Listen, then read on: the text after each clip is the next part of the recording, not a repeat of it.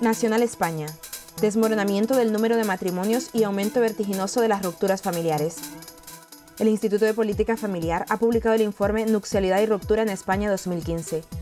La primera conclusión de este informe es que en España se está produciendo un desmoronamiento del número de matrimonios y un aumento vertiginoso de las rupturas familiares. En efecto, cada vez se casa menos gente en España. Es una triste realidad, pero los datos estadísticos así lo ratifican una caída vertiginosa de la nupcialidad que se ha acentuado aún más en los últimos 15 años, periodo en el que se ha producido un auténtico desmoronamiento de la nupcialidad. Pero no solo ha habido una auténtica hecatombe de la nupcialidad, la ruptura familiar se ha disparado en nuestro país y es uno de los principales problemas de las familias españolas.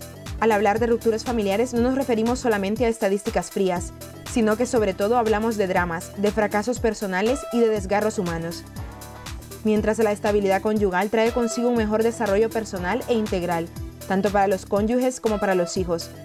La ruptura familiar provoca dramas, fracasos personales y familiares que afectan a todos, padres e hijos.